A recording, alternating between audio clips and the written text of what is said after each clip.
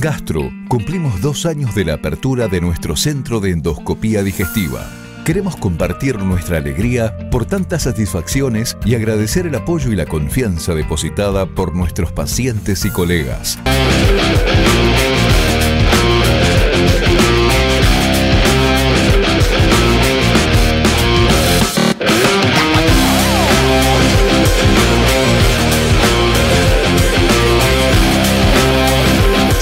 Tal cual lo decíamos, junto a Marina Bordigoni, la presidenta comunal eh, de Carlos Pellegrini, habrán observado en la, en la imagen general, en el plano general eh, de comienzo de bloque, una sonrisa. ¿eh? Y bueno, cuando uno tiene tanto acompañamiento de, los habitantes en el lugar donde vive, no es para menos. ¿Qué tal, Marina? Hola, ¿qué tal? ¿Cómo estás? Muchas gracias nuevamente por la invitación.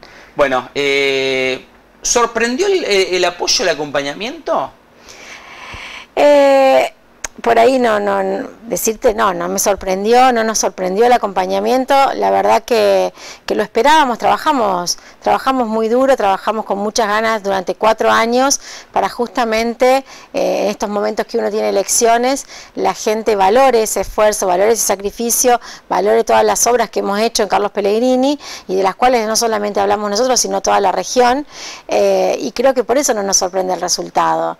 Eh, creo que nosotros la comparamos con la elección que tuvimos la última vez en el 2019 y para nosotros fue aún mejor esta elección eh, con el acompañamiento de la gente que la elección pasada, considerando que esta vez teníamos tres listas más. Claro, yo sacaba el cálculo y digo, si sumamos eh, la cantidad de votos de las otras tres listas, no alcanzan todavía a los votos obtenidos de eh, bueno, por, eh, eh, por la actual gestión. Sí, la verdad que sí. Nosotros la primera vez que nos presentamos allá por el año 2017, el candidato que, se que iba de oposición, que iba por UNITE, si no recuerdo mal, había sacado 900 votos. de ahí en adelante ningún otro candidato oposición a nosotros pudo sacar esa cantidad de votos. Y pensar que son ya cuatro años con un padrón que fue acrecentándose obviamente. Eh, entonces nosotros consideramos que, la elección que hemos hecho fue, fue muy buena. Y si bien uno no trabaja pensando en el resultado de una elección, el, fin es ese después. El fin es que la gente pueda reconocer todo el trabajo que se hizo eh, y bueno, creo que, que está más que a la vista que, la gente está realmente conforme con, la gestión nuestra y que eh, apuesta que en los próximos dos años podamos llevar adelante todas las obras que tenemos que tenemos pensado para Pellegrini. Eh, siempre lo dijimos, ¿no? Eh, y un poco vos te, haces eco de esto, o nosotros sacamos por lo que vos nos decís acerca de, una gestión basada en obras para, para, para Carlos Pellegrini. Sí, la verdad que sí, nosotros nos planteamos eso ni bien comenzamos la gestión, siempre dijimos que íbamos a hacer un una obra por mes, que yo no quería ver eh, eh, las calles sin una máquina, o las calles paradas, o Pellegrini sin una obra en algún momento, y bueno, eso fue lo que, lo que nos propusimos y lo que logramos, eh, básicamente, porque nosotros en 44 meses de gestión llevamos ya 40 cuadras pavimentadas. Eh, y repavimentadas, lo cual es aproximadamente una cuadra por mes solamente de pavimento, hablando solamente de pavimento, dejando de lado el resto de las obras que se han hecho. Entonces sí, esa, el, el motor nuestro es la obra pública, nosotros consideramos que, que la obra pública trae aparejado muchísimo, muchísimo eh, valor agregado al pueblo, con lo cual nosotros vamos a seguir apostando a, eso, vamos a seguir apostando fuertemente a la obra pública, sabemos que es eh, más dinero que ingresa a la economía local, eh, por las ferreterías, por la mano de obra de los albañiles. Hoy está dificilísimo, gracias a Dios, encontrar albañiles en Carlos Pellegrini. Eh, y bueno, y todo va llevando a todo. Eh, las obras de la comuna, la gente que quiere seguir mejorando los frentes de su casa porque le pasó el pavimento, o porque le pasó el cordón cuneta, o porque se hizo alguna obra cerca de su casa y quiere, y quiere seguir mejorándola. gente que apuesta a venir a invertir a Carlos Pellegrini, lo cual para nosotros eh, es un orgullo eh, que, nos elijan eh, como, como una localidad pujante por el crecimiento y para poder instalar ahí nuevas industrias. Para, la verdad que, que, nos llena de orgullo y bueno, saber que, las cosas no las hemos hecho mal durante estos cuatro años. Marina, la obra de, de, los próximos dos años... ¿Va a ser la de agua potable o, hay una obra superior a esta que, eh, que a uno a simple vista dice, bueno, es una gran obra. No, obviamente que es la obra, la obra principal, es la, de la, del agua potable. Esperemos que pueda estar eh, para dentro de dos años ya terminada. Sabemos que hay mucho, eh, que esto es una obra muy grande. Se habla de, o el presupuesto que nos han acercado es 350 millones de pesos aproximadamente. Nosotros obviamente que necesitamos que provincia nos, nos dé el ok con este proyecto. lo estamos entregando en estos, antes de fin de año estamos entregando el proyecto y bueno, y después eh, la verdad que somos muy optimistas en que el, proyecto pueda avanzar, creo que hace la calidad de vida de las personas, hoy es, fundamental tener agua potable y poder contar con ese servicio, eh, que no es un servicio de lujo, es un servicio básico, es indispensable, así que somos, somos optimistas en que la provincia se va a hacer eco de esto y que bueno, finalmente eh, antes de los dos años esperemos que pueda salir. Bueno, hoy no existe cañería, digo, por, Carlos Pellegrini. No, no, no, hoy no existe cañería, por eso necesitamos sí o sí el proyecto eh, eh, que se realice, independientemente si después pasa el acueducto o no, nosotros necesitamos que la cañería se realice. Bien, eh, ¿hoy en qué instancia está? ¿Se realizó una presentación y demás? Eh, ¿Cómo está el tema? Hoy estamos terminando el proyecto. El proyecto implica toda, obviamente, el recorrido de las cañerías por todo Carlos Pellegrini, e implica una perforación que se tiene que realizar en el lugar donde va a estar la planta de osmosis. Es lo mismo que tienen ustedes aquí en el Trébol. Eh, funcionaría exactamente de la misma manera en Carlos Pellegrini por osmosis inversa. Así que eso implica todo el proyecto que bueno, que obviamente la cantidad de, litros hora que se, hace una, una proyección de, la localidad a 10 años, en función de eso se proyecta la cantidad de plantas de osmosis que debemos, con, la, que debemos contar, eh, y bueno, y eso es todo el proyecto que implica que le llevemos a la, a la provincia eh, en breve. Nos hablaron hace un mes de 50, 60 días, eh, o sea que bueno, ya dentro de poquito tendríamos el, proyecto terminado. Bueno, y a partir de allí, sí, bueno, salir a obtener los recursos o, o cómo se hace?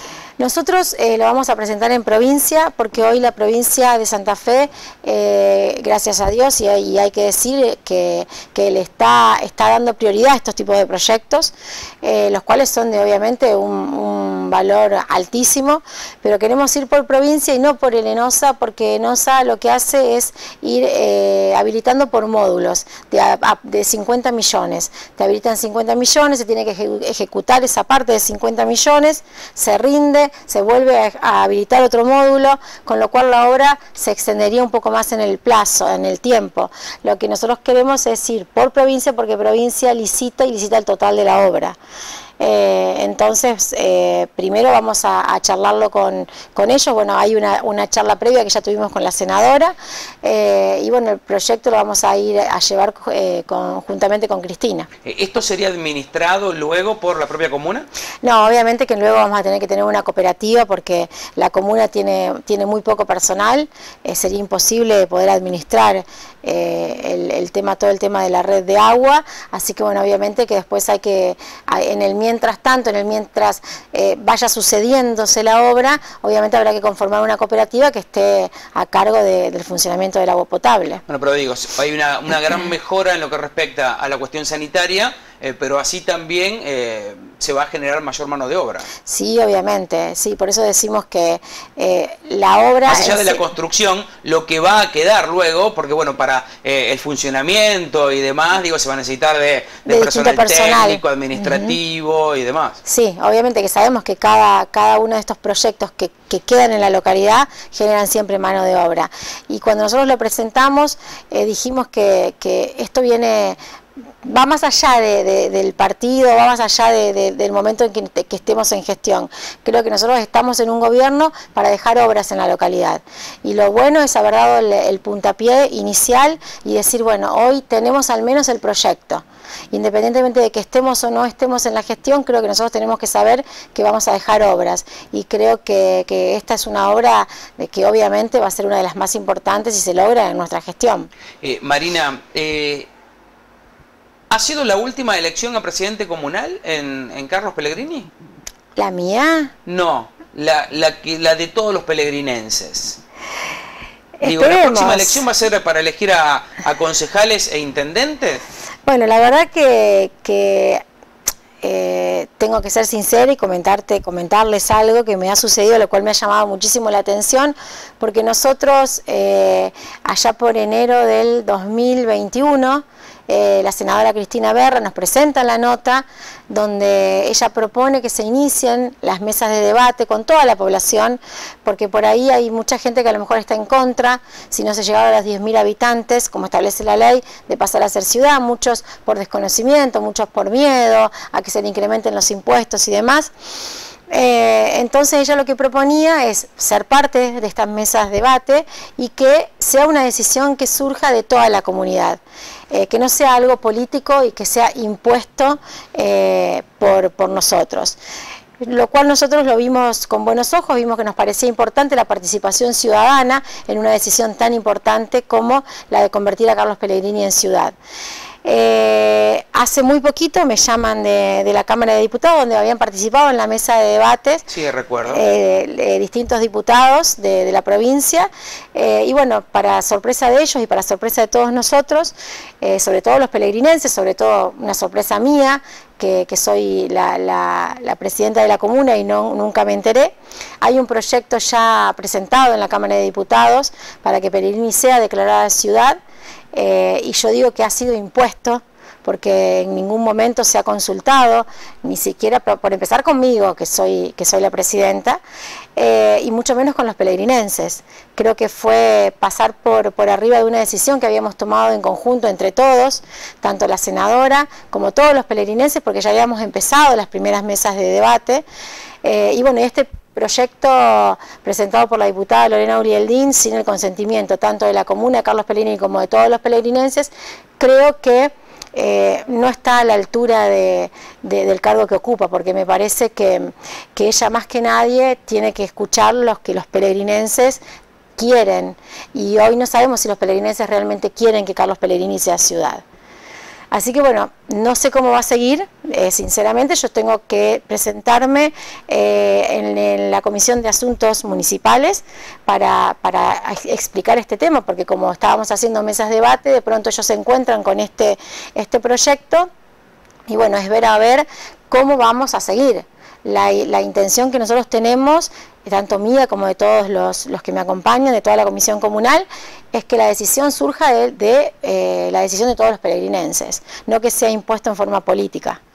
Eh, así que bueno, vamos a ver si es la última, si, si, se, si continúa como presidente, si cambiamos a, municipalidad, tendremos que, ver qué sucede. Bueno, pero en definitiva, eh, y, y, está a las claras que si el pelegrinense, por lo que vos nos decís, el pelegrinense eh, acepta de acuerdo a, a, cómo quieren llevar a cabo ustedes este camino, a través de la provincia no habría ningún tipo de inconveniente. No, no, obviamente. Nosotros las mesas de debate las vamos a continuar, porque nosotros tenemos que, eh, que escuchar a los peregrinenses, eh, nosotros nos debemos a ellos yo me debo a todo, a todo mi pueblo. Entonces yo tengo que primero escuchar qué es lo que deciden ellos.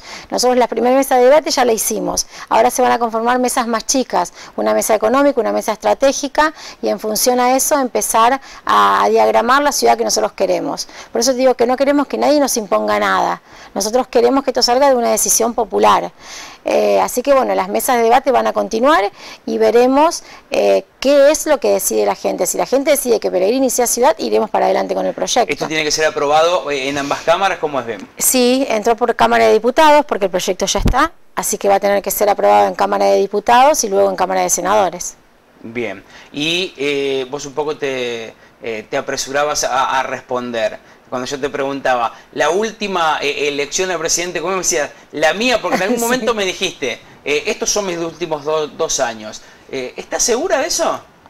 Bueno, no, cuando suceden estas cosas, una elección como esta, el respaldo de la gente, cuando suceden proyectos que tenemos muy grandes, como es el agua potable, como son distintos proyectos que presentamos en campaña, y bueno, uno dice, y bueno, no, no estoy tan segura de que sean mis últimos dos años, o quizás son los últimos dos años como presidenta, pero intentamos, intentamos ser la primer intendenta de la, de la localidad de Carlos Pellegrini. Bueno, en el camino se van presentando una serie de, de cuestiones a los que nos gusta lo que hacemos. Eh, es muy difícil dar un paso al costado por ahí, eh, pero bueno, veremos cómo, cómo seguimos. Alguien me dijo alguna vez en política, nunca digas nunca. Sí, en política nunca digas nunca, eso, eso es, cierto, es, muy real. Bueno, eh, Marina, eh, para dejar en claro y a través de la palabra de la propia presidenta comunal, esto no va a querer decir que el vecino pelegrinense va a tener que pagar algún impuesto extra. Digo, para, eh, para aquel que tal vez piensa, ah, somos ciudad, nos va a salir más caro sino que todo lo contrario, ¿no? Que van a llegar más recursos por la simple cuestión de, ser declarada ciudad. Sí, eso es por lo único que nosotros lo pensamos. Si por ahí muchos te dicen, vos estás loca de querer trabajar con un consejo. No es fácil trabajar con un consejo. Eh, incluso cuando yo dije que eran mis últimos dos años, muchos de, los políticos, de, los colegas con los que hablaba, me decían, vos debes ser la única que quiere que su localidad sea declarada ciudad y no quiere ser la primera intendenta. Eh, uno lo ve por el crecimiento de su pueblo. Uno ve, lo vemos porque si nosotros con los, los recursos que hoy tenemos se pueden hacer todas las obras que estamos haciendo, creo que más aún se pueden hacer las obras si, si nos declaran ciudad. Y, pero además de las obras, es la manera en la que le podemos dar respuesta más rápida a la gente. Eh, hoy Carlos Pellini tiene las necesidades de una ciudad ya y tenemos los recursos de una localidad de 5.000 habitantes porque nos quedamos con el censo del 2010. O sea, ni siquiera tenemos los recursos actualizados a, la cantidad de habitantes que tenemos hoy. ¿Hoy cuánto tiene? ¿7.000 y pico? 7.500 aproximadamente.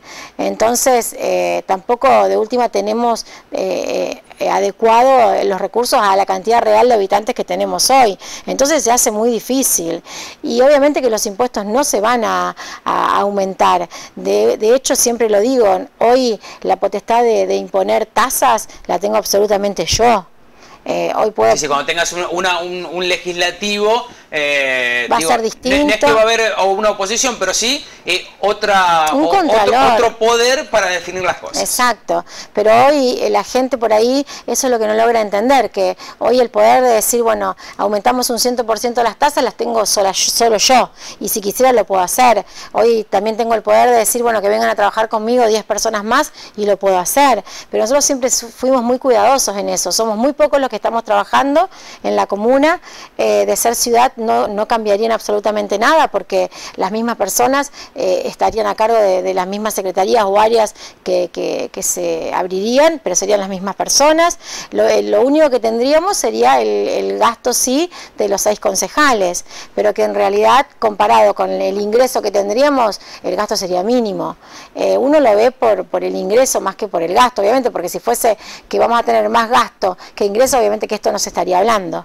Ah, aparte, y, luego, digo, cuando una ciudad crece, digo, cuando una población empieza a crecer, que se convierte en ciudad y demás, lógicamente que también luego se necesitan de otras áreas eh, para resolver eh, o, problemas coyunturales o proyectar cuestiones futuras pensando en, eh, en, el bien de todos. Digo, no es que se hace un Estado tal vez más grande, digo, en algún momento tal vez surja una nueva área de donde sea, pero surge a través de la propia necesidad de poder contarlo, ¿no? Y si uno tiene los recursos para hacerlo, ¿por qué no? Obviamente, esto nosotros, por ejemplo, yo lo, he charlado con Gonzalo Aira, que, fue electo intendente el primera, la primera vez, exacto, de San Vicente, y él me comentaba que solamente iba a tener tres secretarías, que es lo mismo que hoy está manejando una comuna, y que se puede manejar exactamente igual, que después obviamente a medida que la localidad va creciendo, si hay que ir abriendo otras secretarías, bueno, uno lo va a hacer, pero en el inicio eh, la secretaría y las personas con que, que trabajarían seríamos exactamente las mismas. La realidad es que hoy somos muy pocas personas que tenemos que atajar todos los frentes. Esa es la realidad. Eh, Marina, eh, están recuperando un espacio que, justamente el, el, pelegrinense va a poder disfrutar. Contanos, ¿dónde está ubicado? ¿Cuál es la situación actual? Eh, ¿Y cómo es el proyecto en sí? La realidad es, eh, sí estamos recuperando una, en, mi, en, mi, juventud se llamaba la Laguna de Cano, un espacio verde muy lindo, que bueno, quedó totalmente abandonado, era un monte prácticamente, muy pegadito a los vecinos de la zona sur, la última cuadra de Carlos Pellegrini, eh, viniendo para el lado del trébol para que todos se ubiquen. Eh, empezamos en un espacio de recuperación, la verdad que hay, hay unas, eh, unas especies de árboles hermosos que, no se veían porque estaban cubiertos de, toda la, maleza, así que bueno, estamos recuperando ese espacio que la verdad que va a quedar muy lindo y le va a dar otra, otra impronta a la zona sur. Era una zona que se inundaba con mucha frecuencia desde que estamos en la gestión, por medio de, la gestión de Miguel Lifchi, le construimos un canal eh, donde toda el agua que viene de la zona rural, que era, era el problema, ahora desagota en este canal, con lo cual ahora además de poder hacer y de recuperar este espacio, toda esta zona va a pasar a contar con lo que es eh, red cloacal porque no lo tenían y también con todo eh, con toda la extensión de las cuatro cuadras de calle Moreno con pavimento. Es una obra realmente es un proyecto integral. No es solo la recuperación de esta laguna sino también es una calidad de vida de mejorar la calidad de vida a los vecinos de esta zona que por décadas han estado eh, han estado olvidados porque bueno ni siquiera llegaban a tener cloacas de presidenta comunal, tal vez a una intendencia, y, en, este, y en este camino que, has iniciado en la, eh, política, eh, ¿hay algún deseo particular de, eh, por qué no, seguir creciendo? De hecho, bueno, ya integraste y acompañaste la lista de Maximiliano Puyaro como, como precandidata senadora. digo, ¿pensar en algún futuro de alguna candidatura a una senaduría? ¿Vos querés que me echen de mi casa? No, no ¿Cómo sería el tema? No, lo sé. Cada uno sabe cómo, manejar las cosas en su hogar. No, no, bueno, vos, dijiste, en política no hay que decir nunca es nunca. Pero eh, el tema es que no, no, no, yo no pienso, sinceramente creo que las cosas si se tienen que dar se van dando, como me llegó el momento, en ese momento la posibilidad de acompañar a Maximiliano. Eh, bueno, lo hice. En estos momentos yo no pienso eh, en un futuro, sinceramente. Voy abocada a Carlos Pellegrini. A mí lo, que me gusta es ver, es ver que todos los proyectos que tenemos los podemos plasmar y, ver que Carlos Pellegrini va cambiando. Y creo que eh, todos dicen que irte de un ejecutivo a un legislativo es muy difícil, más por, las características mías personales. A mí me gusta mucho llevar adelante y ejecutar proyectos y verlos hechos realidad. Eh, y bueno, hoy mi, prioridad es Carlos Pellegrini. Eh, no son muchas las mujeres que justamente gobiernan en el departamento de San Martín, eh, nos, sobra una, mano para, poder contarlas. Eh, le brindaste un, saludo y una felicitación cuando estábamos en el programa especial eh, de elecciones a, Natalia Sánchez, quien bueno, va a ser la primera intendenta de mujer de la ciudad del Trébol. ¿Cuál es algún consejo que vos le, brindarías? O sea que ya te lo preguntó tal vez, alguna sugerencia. Tenemos una, una, reunión pendiente con Nati, nos vamos a reunir para charlar. No, cada uno creo que, eh, a ver, yo no sé, no, no, no, me animaría a darle ningún consejo, creo que cada uno eh, cuando asume eh, la intendencia o cuando asume una presidencia comunal quiere darle su propia impronta a, la, localidad. confío plenamente en Nati, en que va a dar lo mejor de ella, que tiene unos proyectos muy lindos y confío también en que toda la gente del Trébol va a acompañarla, que tal vez en los primeros años a todos nos cuesta, nos cuesta porque bueno, asumimos eh, y venimos a tomar una municipalidad o una comuna eh, que uno no conoce en el estado en el que está, eh, cuáles son las deudas con las que hay que afrontarse, la cantidad de empleados. Bueno, ellos ya tuvieron una reunión previa, la cual me pareció eh, muy buen gesto de parte de, Fernando, de, llamarla y, contarle más o menos la cantidad de empleados con lo que tiene la, Municipalidad del Trébol, que, que, la verdad que es un número bastante importante, donde los mayores recursos se van en el pago de, sueldos. Eh, no, simplemente le diría que, tranquila, eh, de a poco, que no se apure. Eh, primero, obviamente, que, se organicen. Sé que va a tener el mejor equipo que la, va a acompañar también. Y bueno, y sé que también va a ser una, excelente gestión, la vamos a apoyar y la vamos a acompañar, tenemos una charla pendiente para, bueno, para que justamente ver de qué manera nosotros pudimos empezar a llevar adelante distintas obras y bueno, eh, para también que se puedan replicar aquí en el Trébol. Marina, muchas gracias. No, muchas gracias a ustedes nuevamente por la invitación. Marina Bordigoni, eh, la presidenta comunal actual de Pellegrini, presidenta comunal electa, que ha tenido un gran acompañamiento nuevamente por parte de, los vecinos pelegrinenses. Última parte y vamos a estar con un concejal electo por la ciudad del Trébol. Eh, no, ha, no ha ganado su fuerza, la segunda fuerza política en la ciudad del Trébol, eh, la que postulaba a Guillermo Trógolo y junto a él vamos a estar en el cierre del programa.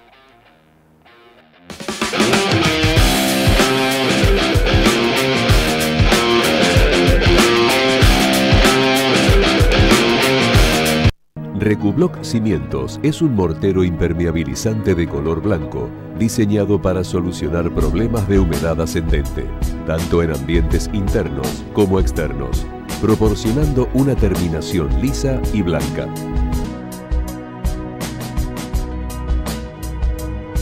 Conseguí este y otros productos en Pinturería Sofía.